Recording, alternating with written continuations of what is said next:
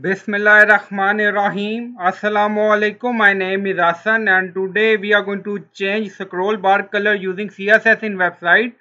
Before starting work, it's my request please subscribe my channel. Thank you. Now back to our work. Now on screen you see scroll bar color white. So we are going to change it. Now go to customize section and we are in additional CSS. Now we are going to add code. Now paste and you will find this css in video description or in comment section.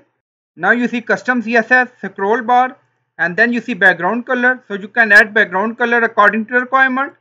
And then you see border radius 0px and then you see border 1px solid. So you can add color according to requirement. And then click on publish. And you will find this css in video description or in comment section.